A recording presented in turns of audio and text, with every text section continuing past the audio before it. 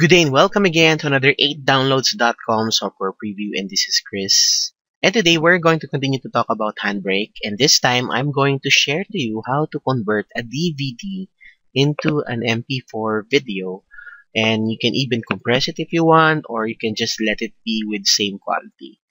Now uh, I've already uh, loaded the Handbrake and this time uh, since uh, my DVD is already on a file so I'll just go ahead and use a folder and then go ahead and select this one.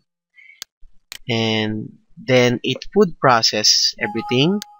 And right now what I have here is the uh, Victor within uh, DVD and what I'm going to do is I would probably use the quality a lower quality to convert it faster.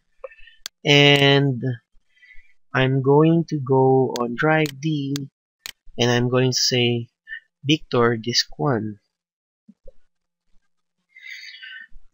Now, since I have it as web optimized, maybe lower the quality more.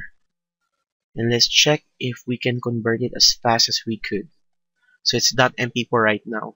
So let's press start. So right now Handbrake is converting the file. So let's go ahead and wait for it.